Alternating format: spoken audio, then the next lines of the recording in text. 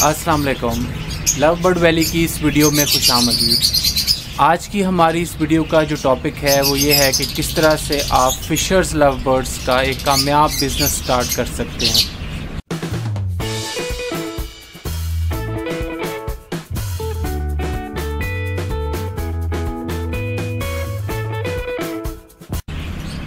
Fishers love bird जो हैं, वो लव बर्ड्स में बहुत ही फेवरेट हैं। सबसे ज़्यादा ब्रीड जो लोग रखना पसंद करते हैं अपने पास, वो फिशर्स लव बर्ड्स हैं। और ये ब्रीड भी बहुत अच्छी करते हैं और बहुत हार्ड जानवर है। ये आमतौर पे साल साल ब्रीड करता है और इसको कोई ऐसी मेन प्रॉब्लम्स जो हैं, वो कम ही होती हैं। इस वक्त फ़िशर्स का रेट जो है वो बहुत ही कम हुआ हुआ है। एक हज़ार रुपया जो इसके बच्चों का पेयर हुआ हुआ है। और जो बड़ा है उसका बारह सौ इसका रेट चल रहा है आजकल। ये कुछ अर्सा पहले बड़े पेयर का रेट तकरीबन छः, साढ़े छः हज़ार था और बच्चों का रेट पाँच, साढ़े पाँच हज़ार रुपये तक था। तो ये रेट जो है इस वक्त बहुत ही कम हुआ हुआ है और ये इस वक्त सुनहरी मौका है कि आप इसके पाँच दस पेयर्स लगा के इसका एक कामयाब बिज़नेस स्टार्ट कर सकते हैं।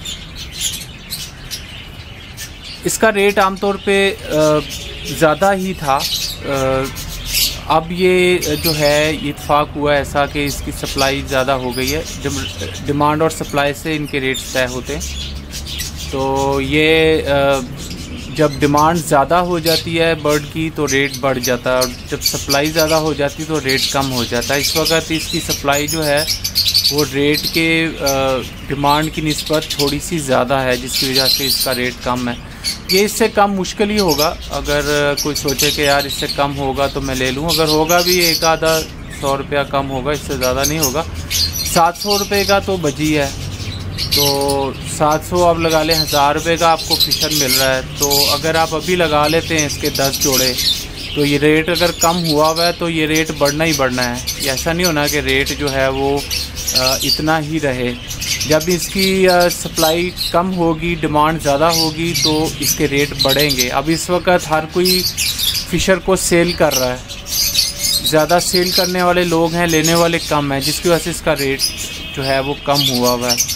तो जब इसके लेने वाले ज़्यादा होंगे और बेचने वाले कम होंगे तो इसका रेट बढ़ जाएगा। और जो चीज़ कम होती है, वो ऊपर आनी आनी होती है। ये एक साल बाद या दो साल बाद इसका रेट जो है, वो बढ़ना ही बढ़ना है।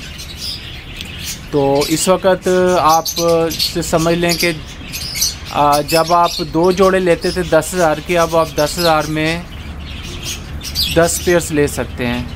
तो कितना डिफरेंस है। इस वक्त अगर आप लगा लेते हैं और उसके बाद जब इसका रेट बढ़ेगा और उस वक्त आप सेल करें तो सोचें आपको कितना प्रॉफिट होगा।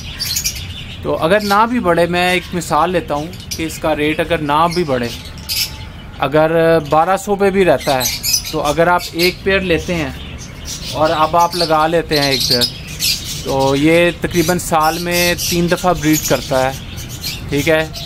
चार, पाँच या छः छः बच्चे भी ये निकालता है। अगर आप एवरेज लगा लें, चलें चार बच्चे भी आप लगा लें तो एक दफ़ा चार बच्चे लगा निकालेगा तो 800 के तो बच्चे आपका पेयर बिक ही जाएगा 1600 तो आपने 1200 का पेयर लिया और 1600 रुपया इसने आपको पहली दफ़ा ही में दे दिया।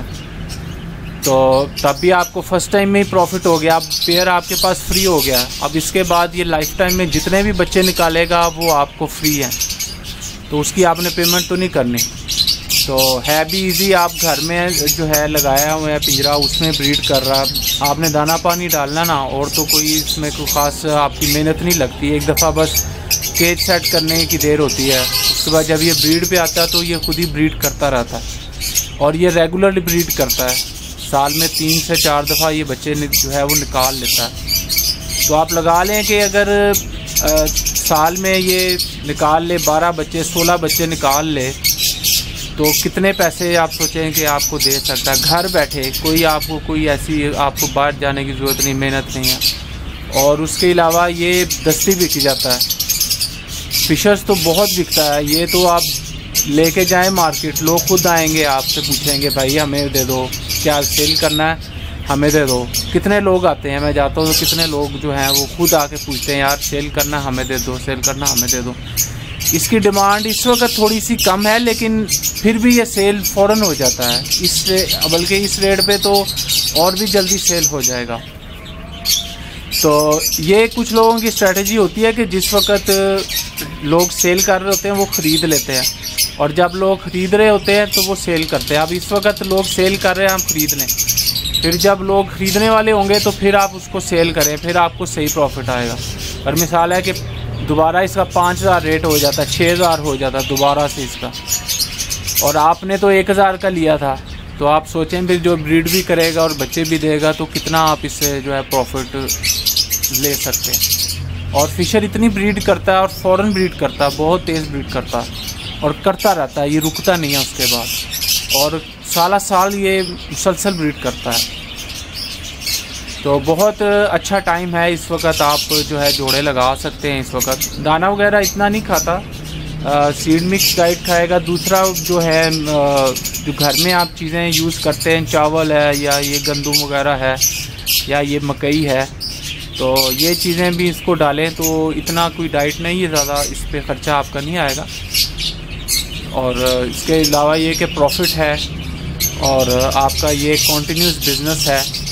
जो कि आपका होता रहेगा। तो ये माइंड बनाएँ इस वक्त, बहुत कम है। मैं तो दस जोड़े लेके आया हूँ फ़िशर के। तो साथ येलो फ़िशर भी हैं इसमें।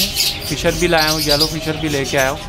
तो मेरा एक्सपीरियंस है क्योंकि मैंने जब रखे थे फ़िशर्स तो बहुत ब्रीड हुई थी मेरे पास। तो मुझे तो इन पर कॉन्फिडेंस है कि ये बहुत अच्छी ब्रीड करते हैं। तो आप माइंड बनाएँ और इसका एक बिज़नेस स्टार्ट करें। इन आपको इससे काफ़ी प्रॉफिट होगा। तो उम्मीद करता हूँ कि ये वीडियो आपको पसंद आई होगी और आपको बहुत कुछ सीखने को मिला होगा। इसके साथ आप विज़िट कर सकते हैं हमारी वेबसाइट www.lovebird.valley.com और सब्सक्राइब करना ना भूलिएगा और अपना और अपने बर्ड्स का बहुत सा ख्याल रखिएगा। अल्लाह हाफिज़।